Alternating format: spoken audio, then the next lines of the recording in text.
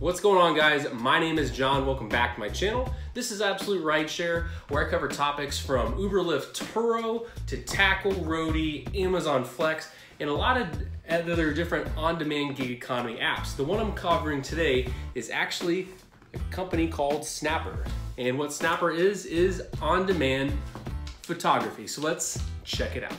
So unlike rideshare, obviously, your main tool is gonna be your gear, your equipment, and your experience um, to be able to get onto this platform. So Snappr actually provides a ton of different services. Those services are portrait photography, wedding, event, uh, real estate, food, and automotive. The primary focus that I work with on Snappr is actually doing automotive photography. I've been doing automotive photography for about a year and a half um, seriously. You know, I've taken pictures of cars before, but actually putting forth the effort to one, invest in equipment that's going to make images look sharp. Two, um, I've worked in the automotive industry for years and I really found that that is something coming into photography that I have a background with that I could already know what to look for and how to capture images and just make things stand out. I've done social media for a company and done tons of automotive related things, whether that's videos and also cars. So to get started on Snappr, you do have to have some form of experience, some form of portfolio to demonstrate that you are capable of doing it. Um, truthfully, that doesn't matter if it's paid or not, as long as you got work that shows that you're able to do it. Uh, in addition to that, having the proper equipment. Um, I shoot with a Sony a7R II. Um, I've got a 24 to 240, which is what's on my camera right now, and 85 millimeter. Um, saving up to get that 12 to 24 so I can get into more real estate photography and doing really sick rolling shots. If you're accustomed to on-demand apps, you're typically gonna get paid same day up to five times, maybe in two to three days if it's Roadie or Amazon, or maybe within a week, um, just depending on what, what kind of app it is and the time frame.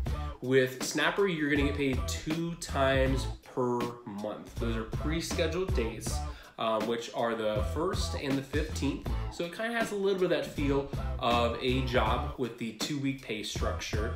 Um, it comes in form of PayPal that gets directly deposited right to there, and then you can deposit that into your own business account, personal account, however you want to use it.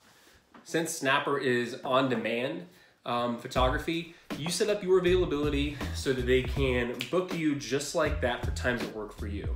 I've had requests for 6 a.m. Uh, photography gigs, 6 p.m. photography gigs, 1 p.m. photography gigs.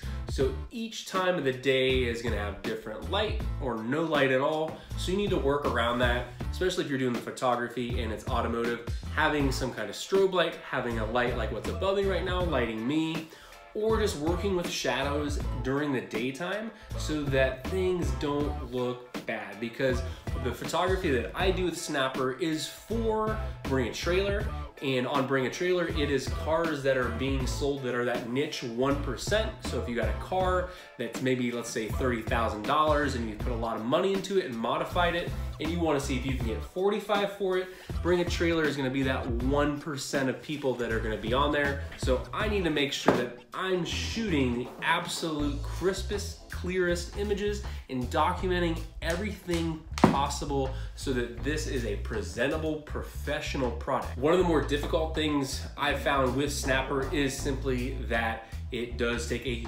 long time to upload these raw files. My raw files are huge with this camera.